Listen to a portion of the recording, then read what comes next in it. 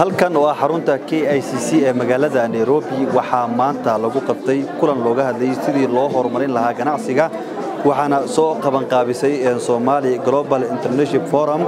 Waxaana ka soo qaybgalay kulankan lagu horumarinayo ganacsiga.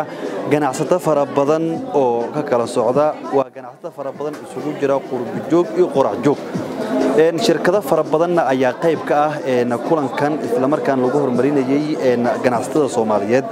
Waxa uu faa'iido weyn u yahay horumarka ganacsiga ka jira geeska afrika bulshada soomaaliyeed maadaama nairobi ay ka mid tahay meelaha ugu badan ay soomaalida ganacsato. Qaar ka tirsan dadka ka soo qaybgalay kulankan lagu horumarinayay ganacsiga soomaaliyeed ayaa ka hadlay faa'iidada uu leeyahay bulshada iyagoona aad ugu ammaanay somali ee global international forum shaqada ay u hayso bulshada. Waa cabdiqaadir cali cabdulaahi waxaan ku soo waxaan imaaday meesha forumka.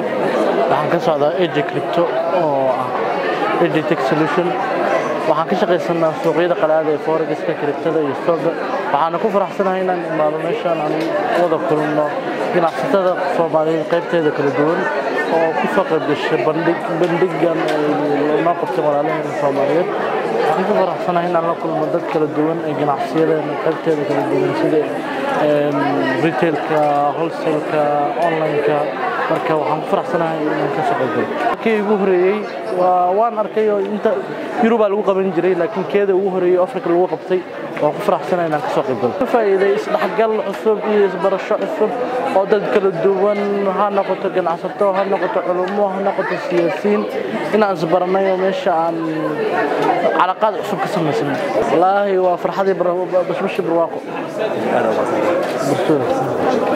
Bismillah asalaamu calaykum waraxmatullahi wabarakaatu shabeelle t v oo mahadcel leenahay maanta magaalada nairobi aan maaragtay ay nogala soo qayb gashay ama ay qayb ka tahay tviyada halkan jooga oo wax ka duubaya ama barnaamij ka diyaarinaya barnaamijka weyn ee global somali youth summit sanadda barnaamijka waa barnaamij aad maaragtay dee soomaalidu inta badan community soomaalida halkan joogay u baahan yihiin dabcan baahida loo qabo ganacsatada yar ah iyo baahida loo qabo inay soo baxaan dad dhalinyaro oo ganacsato ah. Waa baahi dalkeena ka jirta iyo community Soomaalida meel kasta oo joogaan. Haddii ay dalka gudihiisa joogaan haddii dalka dibadiisa joogaan. Waxaan ku faraxsanahay kulankan inay ka soo qayb galeen shirkado iyo dad yacni shakhsiyaada oo magaca ku leh gudaha online businesska iyo sidoo kale iyo ganacsiyada caadiga ee offline-ka ahba. Sidoo kale waxaa xusid mudan in shirarka noocan oo kale ah haddii la joogteeyo ay macno weyn ku soo kordhin karaan. Sababto tahay waxaa dhismaya network networkaas oo ay dadka soo koraya ee ganacsiyadooda soo koraya haddii online-ka ay tahay haddii ay offline-ka tahayba in dadka soo koraya network fiican ay helaan. Isku imaatikaas la isugu imaanayana wuxuu bulshada ku soo kordhi karaa in wacyi ahaan awareness-kooda bulshada inuu dhismo in waxani ay muhiim yihiin in dhalinyaradu aysan u baahnayn baahi badan aysan u qabin in nin oday ah uu ganacsataa uu taakuleeyo ama garab uu siiyo inaysan u baahnayn in qabiilkooda dib ugu laabtaan uu garab ka siiyo xagga ganacsiga ay u baahan yihiin in networkooda ay dhisaan dhismahaas networka wuxuu qayb weyn ka qaadan doonaa horumarka ganacsiga in development badan uu sameeyo xagga ganacsiga tv-ga shabeelle oo mahad celinaya halkan maanta waxaan u malaynayaa maalintiisa koowaad waa shirka. Maalin labaad ayuu geli doonaa sida aan xogta ku hayo. Kasoo qaybgalayaal wanaagsan ka soo qaybgalay weli dadka way dhiman yihiin. Waxaan rajaynayaa in dad intan ka tiro badan oo muhiim ah oo weliba mas'uuliyiin ah inay ka soo qaybgali doonaan.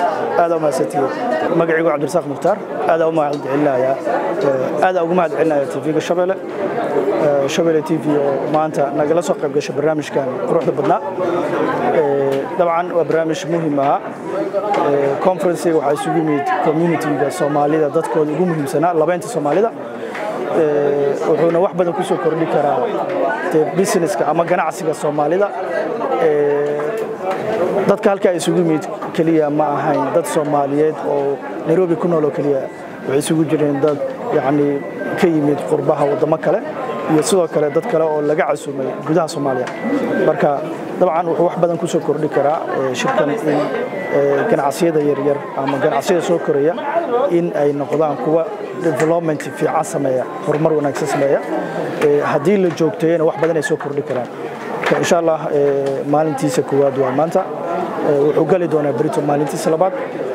Waxaan rajaynayaa in ay maaragtay wax miro dhalah oo dadka soomaaliyeed wax badan wax uga taro inuu ka soo bixi doono insha allah wallaahi barnaamijkan waxaa isugu yimid qaar ka mid ah ganacsatada ama dadka doonaya inay ganacsiga bilaabaan ama haddaba ku jira soomaaliyeed ee dalka kenya jooga iyo kuwa soomaaliyaba ka yimid.